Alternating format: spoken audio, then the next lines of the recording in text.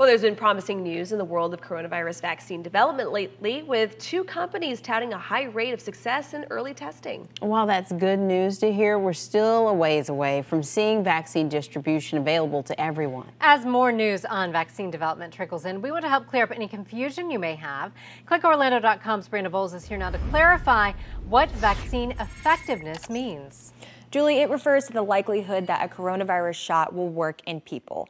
This week, Moderna announced its vaccine was nearly 95% effective. Last week, Pfizer made a similar announcement and then put out an update on its vaccine today. Effectiveness numbers will change as the vaccine studies continue since the early calculations were based on fewer than 100 COVID 19 cases in each study.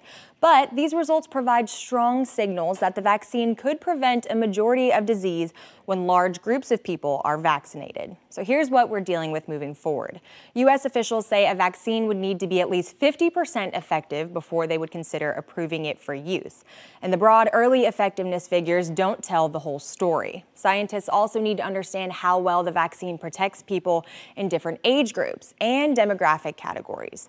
For both Moderna and Pfizer's vaccines, the interim results were based on people who had COVID 19 symptoms that prompted a virus test. This means we don't know yet whether someone who's vaccinated might still get infected, even if they show no symptoms and spread the virus. It's also unknown if the shots will give lasting protection or whether boosters will be required. Those are just some of the questions we don't know the answers to right now, but you can bet scientists are working diligently to solve them. And we'll be sure to update you on all vaccine news right here on News 6 and, of course, on clickorlando.com.